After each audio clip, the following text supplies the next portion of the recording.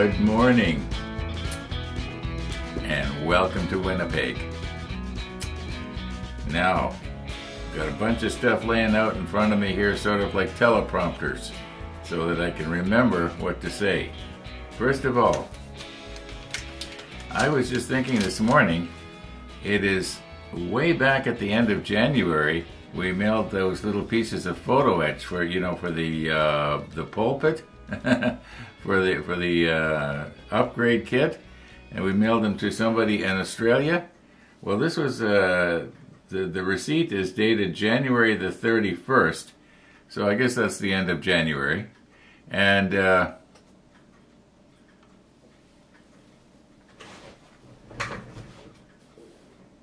I'm noticing some spots on the front of my lens there. Better check that out.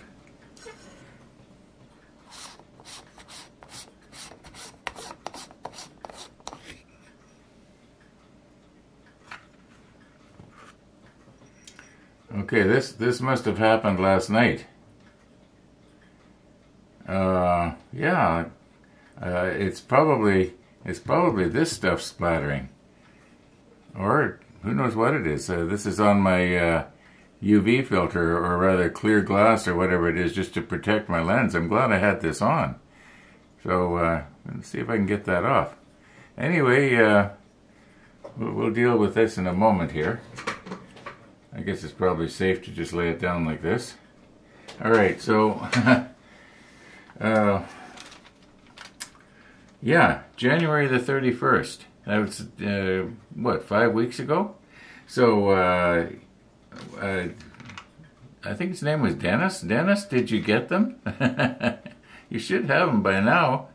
I know Australia is down on the other side of the world to me, but still, uh, yeah. So if you got them, let us know. Kind of interested to know. Now, remember in the last episode I was having trouble with my vacuum chamber not drawing all the way down to uh, uh, uh, minus one.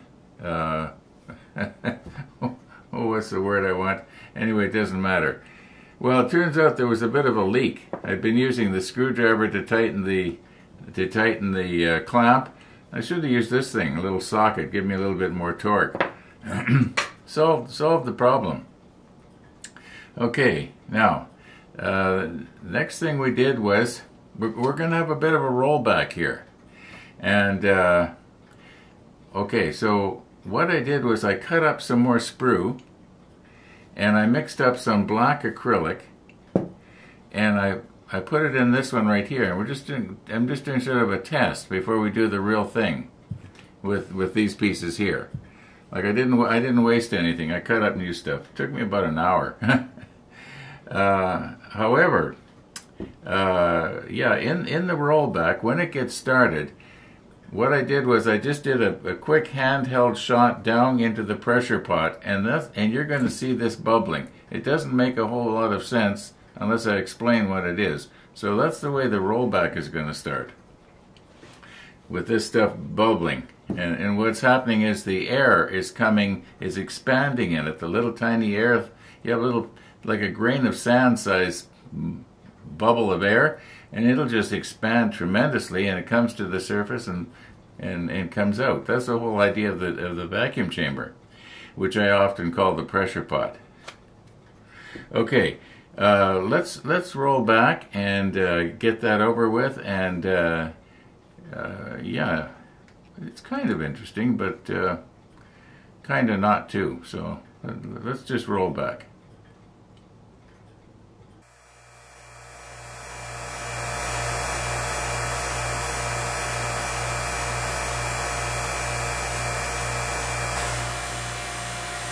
Okay, what's happening here right now is I'm letting the air back into the vacuum chamber so I can get the lid off. yeah, I'd never get the lid off otherwise, right? Anyway, I let it run too long here. I won't do that when, when we do the real pen. This is just sort of the trial run, you might say. Now I'm hoping I didn't wait too long here. Uh, normally what I do is I wait until I notice it's starting to solidify and I went downstairs to the workshop to get some oil because I want to change the oil in my pump. And I guess it it probably started to quickly solidify and I didn't notice. So let's see what we got here. It, it, it looks okay. I think it's going to be all right.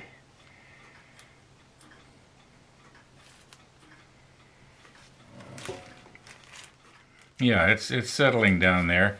There's a few little granules that are on the top, but very few.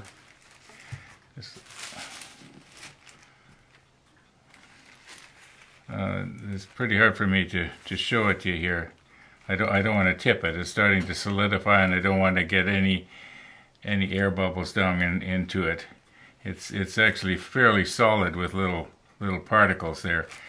Uh, I believe that the very bottom it might be clear of particles because they do. I believe they did float to the top, but uh, I'll know once I cut it with the bandsaw into you know a piece about well as wide as it is right now, and then maybe oh a little better than three quarters of an inch the other way. At least that's what I'm thinking right now. I'll just keep cutting the bottom off until I notice I'm getting up to the to the granules, and then I'll then I'll quit.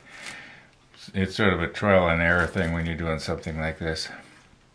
Anyway, I'm going to go ahead now and uh, and change my oil.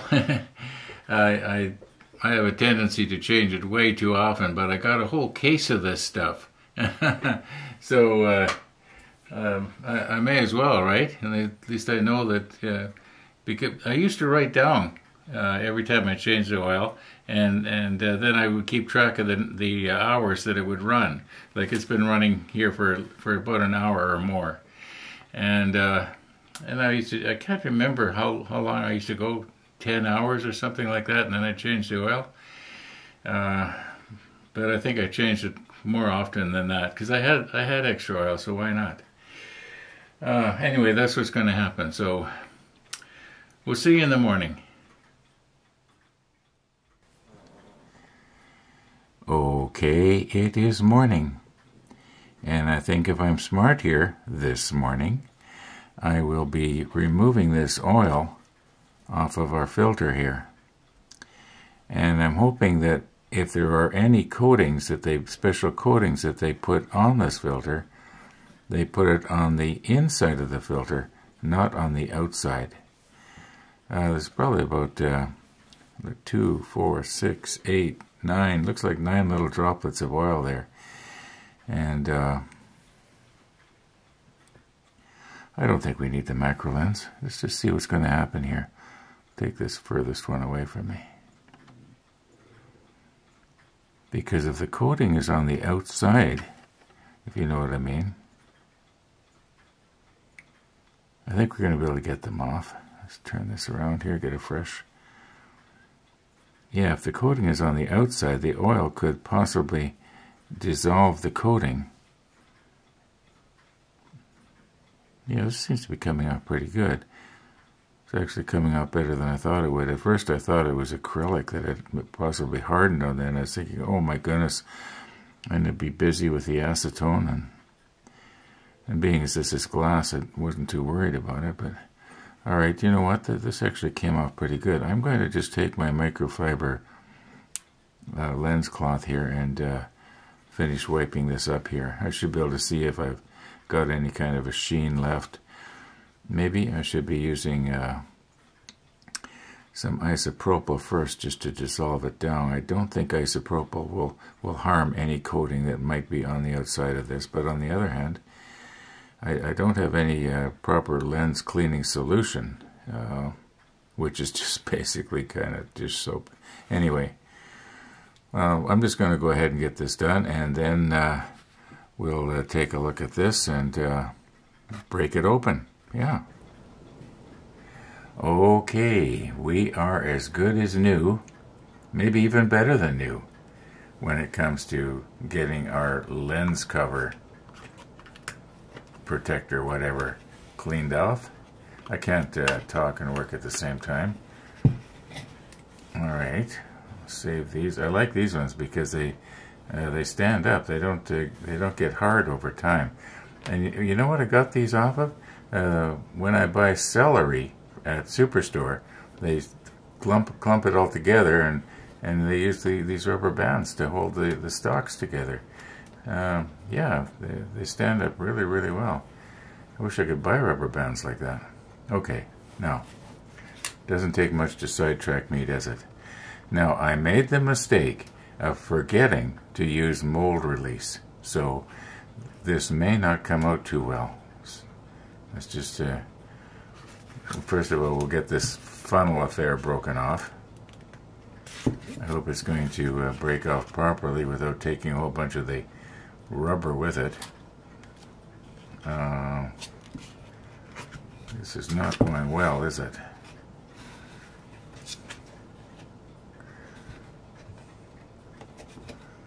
There we go. Get it out of here. the, the reason, excuse me, the reason for this thing here is so that, uh, now I'm going to use the word pressure pot correctly this time. I, will take this thing and I'll put it in my pressure pot, which just a which is just a hydraulic cylinder. Some of you may have remembered seeing it from the my pen turning videos, and then I can use this as like a tray. That's all this is. Okay, let's get this. Oh yeah, it's coming off.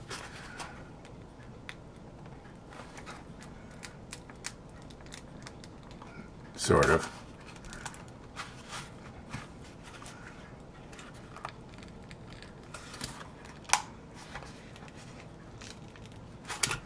Well, as long as it wants to hang on to the hang on to this thing, let's uh, just let it hang on to it, I guess.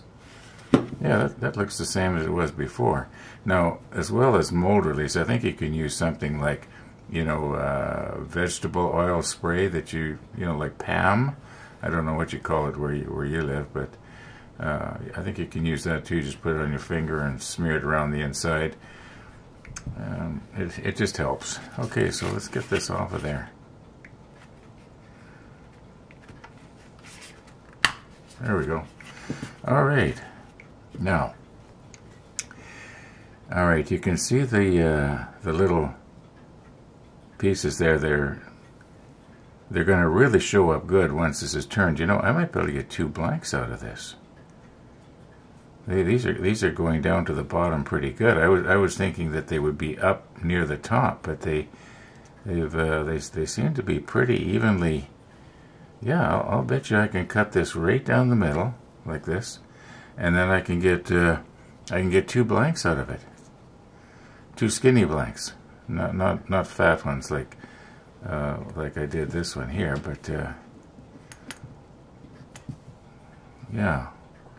Yeah, sure, if I go right down the middle here, I'm going to do that. I'm going to take it down to the workshop and run it through the bandsaw, but that's not going to be today. I want to work on the model ship a bit yet. I mean, this, this uh, episode is called The Model Ship, number such and such, so I guess we better, uh, in keeping with what we're doing here, do something with the model ship. Oh, we've got a, uh, an interesting comment from one of the viewers uh, about uh, the, the correct procedure for gluing down a particular part. We'll talk about that. Uh, I, I did sort of look into it a little bit last night, and uh, it makes sense. So I'll just pass that on to you. Okay, undoubtedly, there's somebody watching right now that is uh, thinking to themselves, I wish Ron had shown all the steps how he actually got to this place. other than just showing the bubbles. well, when we do the big one, you know, that we we've been talking about for what, three years? when we actually do the big one, I will try to arrange everything so I can show step by step how it goes. Uh, no promises.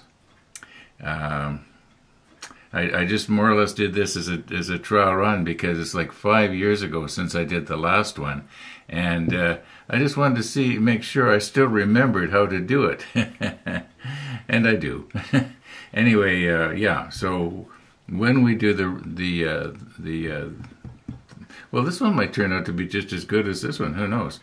Uh, I might even, I might do a different color. I, might you do dark green. It has to be something dark that will contrast with the uh, light gray of the sprue the number XF19 colored sprue. okay, just wanted to mention that. So, uh, yeah, those of you who are kind of maybe disappointed that you didn't get to see the different steps, uh, yeah, we'll, we'll try and do better next time, but that won't be today. Now, let's let me get cleaned up here and we'll get on to the model ship. Okay, so what our friend is trying to say here is that we're at step 22 here and we're going to be putting parts down. Now, mind you, I'm not going to be doing that today anyway. The reason being is I want to, you know, paint the, the deck area of these parts while they are while they are off. Like uh, it's going to be clearly a lot easier to paint something like this if you can have it right down here, nice and close, rather than if it's stuck on the deck over here somewhere, something like that. Um, so that that has to be all done. Uh, however, when we would be getting to, let's just put this carefully here, this piece right here is what he's talking about. And it, it, it appears that we should be putting it down, like you can see the pegs on the bottom there, they go in these, these holes here. And, okay, now he was saying that when, when we flip the page, and we have to put our D3 down, which is this piece right here, which also isn't isn't ready yet either. Uh, you know, I should have sprayed this yesterday when I did that spraying, but that's no big deal. That it is a little bit harder to get these these little pins to line up with with these holes here. Um, so in other words, he's saying it's easier to do this right now. Like seems to me we kind of did something like that before, didn't we? Only we we didn't glue it in place. But you can see it is. It's a, it's a lot it's a lot easier to to get this lined up when you can see what you're doing. And then after this is all glued together as one module, then put it down on the deck. Yeah, that kind of makes sense. There. See how easy that was? Okay. So, thanks. Now, just for the fun of it here, I want to see how these pieces actually go together. Ooh, I've got to be careful here. I've got to remember I got fragile stuff sticking out all over the place. Okay, now this... Yeah, this is supposed to go in here. Doesn't seem to want to fit very good. Wonder why. Do I have to maybe enlarge those holes just a tiny bit here? Yeah, it doesn't seem to want to fit. Okay, let's try this one.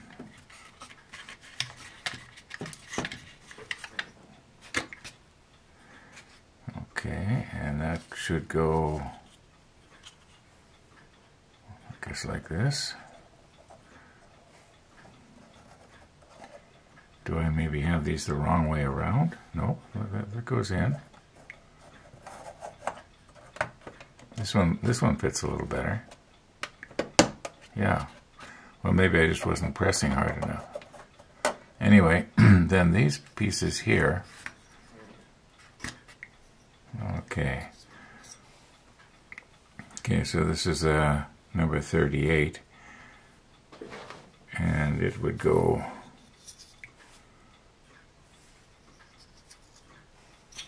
Let's just get the other one here. Would it be like this? Yeah, that's the way they go. Yeah, I can see how these would fit together. But why is this one not going into the deck there?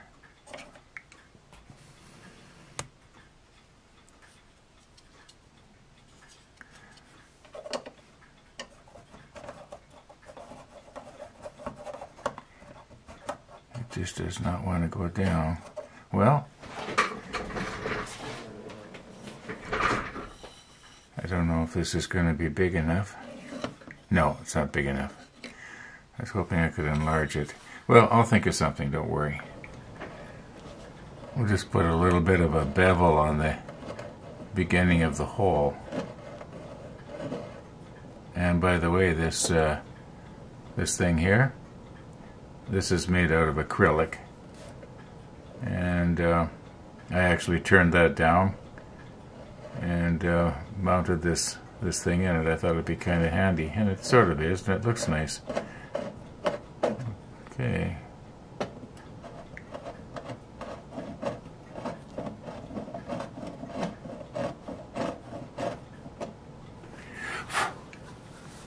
Let's give it a try now.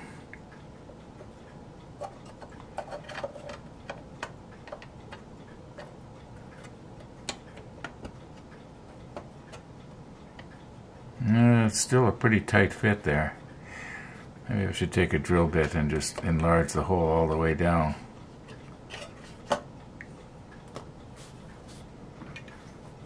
Okay, I had some drill bits here earlier. Okay. Okay, that one's too small. So I think we did this one here. Just probably maybe I can just do it with my fingers. Or maybe not. use both hands, it does.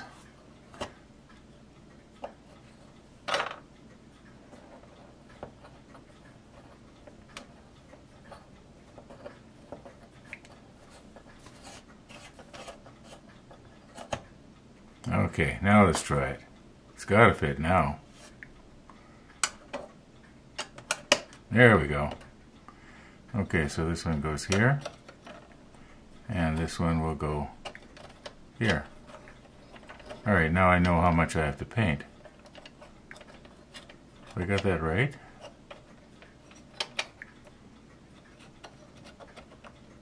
Yeah. There we go. Alright, so I, I don't need to worry about painting right underneath this part, and although may as well. Uh, okay, I think that's what I should be doing next is, is getting these uh, platforms painted. Wonder what's, is this going to be shown? I think so. I think parts of this are going to be seen here. Uh, so this, this should also be painted.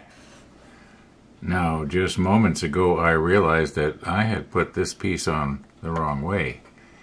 Yeah, this piece has the door go to the back, but the uh, this was supposed to be like this.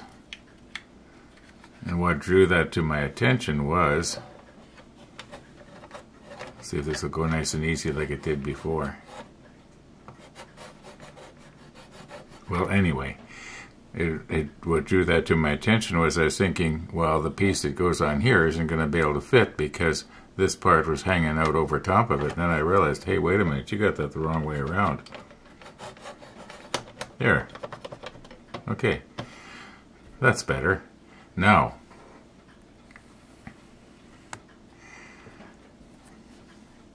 this uh, part of the bulkhead here, uh, if it if it's not painted, the 19, the same as this is, what we do see of it is going to look like bare plastic. So I'm just going to quickly go ahead and paint this before I do anything with the deck here. And the deck will be the, the 77, the same as here and here. Okay, I've had to twist our part around here a little bit so that the angle is better for me because I, I couldn't see this little edge right here. Now I sort of can.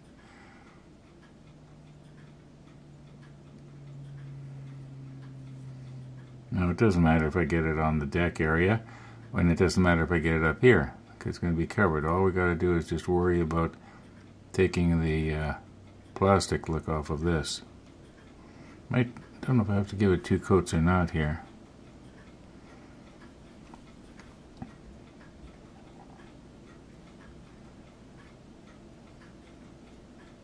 I don't think so. I think one coat's going to be just fine.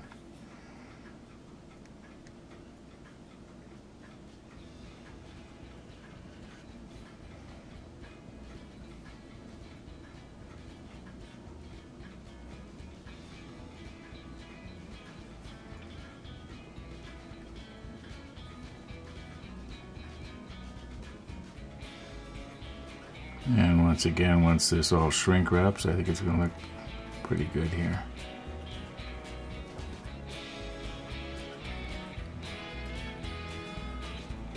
All right. Yeah, I'm going to do the same on uh, this side right here. Oh, about 15 minutes ago, I guess it was, I was down in my workshop and I cut up this scrap wood. And I guess you know what this is going to be for. Yeah, I'm stealing uh, military modeler Paul's idea here. Now this is the smaller pipette. And it, it goes in the smaller hole. It fits, it fits really nice. But the larger pipette, I, which I'm going to have to cut longer by the way, uh, but this one I cut earlier before I drilled these holes. Um, it's a little bit on the sloppy side, you might say. I, I would like the hole, the hole to have been a sort of a snug fit, and it's a it's a pretty loose fit. Anyway, thanks for the idea there, Paul. However, I'm going to be calling it quits here for this afternoon, folks. Thanks for watching, everybody, and all being well, and we'll see you tomorrow.